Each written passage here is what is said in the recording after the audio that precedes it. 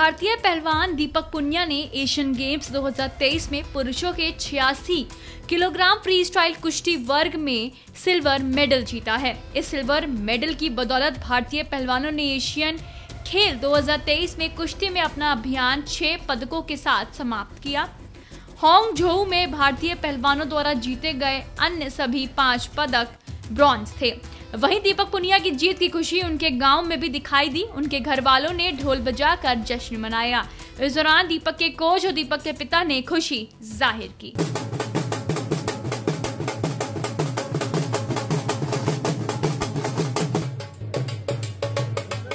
बेटे का मेडल आ गया बहुत खुशी की बात से। कोई ना चूक गया चूकने में हम हार भी नहीं मानते। ओलंपिक में जागा तो बेटे के लिए ऐसी बात नहीं है।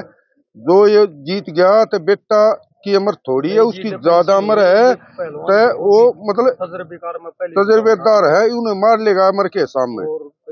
जैसे ये पीछे हराए है वो भी दस दस ज़ीरो तो दीपक ने हरा के गए है। पर दीपक ओलंपिक में उसने भी हरा होगा। दो ही भरा गया से उसने भी हराया होगा एक दो पहलवान और आना ओलंपिक में तो गोल्ड मानते हैं हमें। मतलब ये दीपक, इसको गोल्ड मान गया, ये दो बार हरा चुका, तीसरी बार इसको नहीं छोड़ेगा दीपक। मैं तो आपके माध्यम से ये अपने पूरे देश के युवाओं को ये एक संदेश देना चाहते हैं। अगर हर घर से कुश्ती सब खेलों की माँ है, जननी है। इस कुश्ती से सारे खेल निकले हैं और ये देश की सुरक्षा, जब पहलवान जी इस देश में तगड़े होंगे स्वस्थ होंगे तो उस देश का भविष्य अच्छा ही होता है। तो हम एक आपके माध्यम से कहना चाहते हैं हमारे साथ में सरपंच साहब है बबलू अश्विनी जी है। मेडल जो आया है हाँ। क्या लगता है आपको ओलंपिक का अब क्या गेम रहेगा अब ओलंपिक में आप देख लो ओलंपिक सारा आज भी तो ओलंपिक ही चल रहा था। अगर सभी जितने पहलवान थे सारे ओलंपियन थे। इसने जो हराए हैं वर्ल्ड चैंपियन हराए हैं ओलंपियन हराए हैं आज भी हराए हैं जिससे हारा हो भी वर्ल्ड चैंपियन और ओलंपिक चैंपियन है। तो इसमें इसमें तो कोई खास भेद नहीं होगा। एक एक दो पहलवान और आना है। जो अच्छा पहलवान है, बस। और इनसे अलावा इसके वज़न में कुछ नहीं आना। ये आज ओलंपिक ही था। और यहाँ से हम स्टार्ट आज से ही हमने स्टार्ट कर देना चाहिए।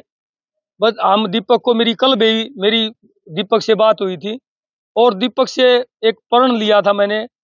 आक फाइट फॉर उसके मुँह से कहा था गोल्ड लेकिन गोल्ड से चूक गया, फिर फाइट फॉर गोल्ड हम फिर प्रयास करेंगे। हम उल्टे नहीं हटेंगे।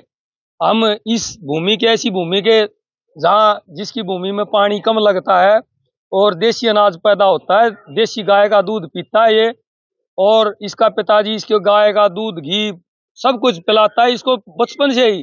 जब ये पाँच साल का था जब भी इसको वो जो दूध की होती है वो क्या बोलते हैं करीम।